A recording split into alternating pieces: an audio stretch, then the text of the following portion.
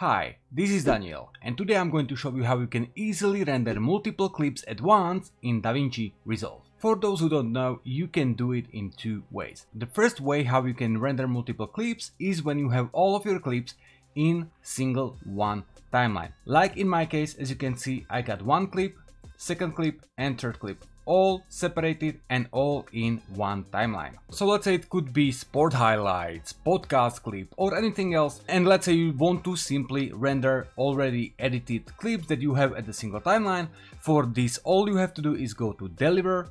Here set up everything in the video tab as you want. In my case it's going to be mp4 h264 everything else can stay as it is. And now i'm going to file and here i'm going to change the majority things. So first of all i'm going to check the individual clips as I want to render three individual clips and not all video as one. Then you want to set the custom name, in my case it's the Sova tutorial from Valorant, it's going to be Sova tutorial and the file suffix is going to be abyss as it's from the abyss map. It really doesn't matter. You can set here whatever you want. In my case as i want to render multiple clips and i want to have them separated that means not all of them will have the same name I want to use the unique file names and I want the number of the unique file names would be add as a suffix. So I will check the suffix one and I will uncheck add source frame count to file name because I really don't need this in name of my file. But in case you would have too many clips and for example you want to separate them and you want to make sure that none of them has the same file name,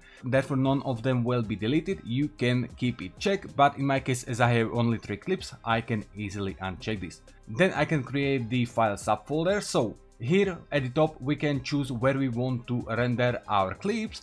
So let's say I want to render it towards this file and then I can choose the file subfolder. Let's call it for example Sova tutorial and it will create new subfolder in which all of those three clips will be rendered. Then we can also choose the digits in the file name. I can set it up to 3, I don't really need more. And as I don't need to preserve the source in directory levels, I can uncheck this as well. Now I will simply click on add to render queue of course, after you will check everything is okay set, that you have the name, as you can see, it's combination of the Sova tutorial and the file suffix, and that you also choose the location, you check the individual clips, and everything else. So I will click on add to render queue and now we can see that in the render queue we got one item which has three clips. Those are the three clips we are going to render and all I have to do is click on render all. So now as you can see already second video is being rendered and when I will open the location we can see that we have this Sova tutorial folder right there so I can open it and here I can see already two rendered clips and third is being created right now. So as you can see the name is Sova tutorial abyss and there is unique file names for each of them. So now when it's done I can open any of them so let's say the first one as you can see, it's rendered as a separated clip. The first, second and third. So this was the first way how you can render multiple clips at once in case they are all in the one timeline. But let's say you don't want to render this kind of clips. Let's say that you want to, for example, make them 9 to 16 resolution and add some overlay or anything else.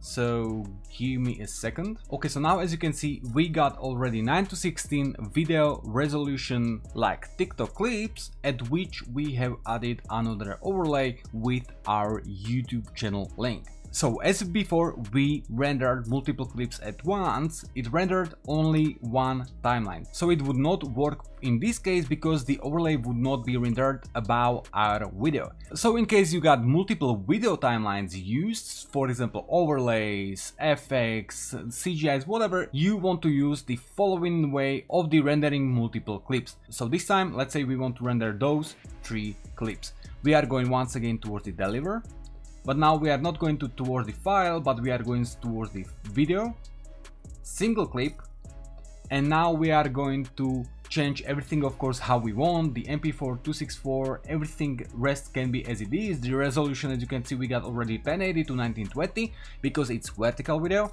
So we want to keep it as it is and now I want to change the name, so I will keep it on Sova Abyss 1 for example. And as you can see at the moment it's set up that it would render all length of this video together with the pauses. You can see it by this gray line at the top of the timeline. So as I don't want to render it as a one piece together with these pauses between, we want to set the start and the end of each individual clip.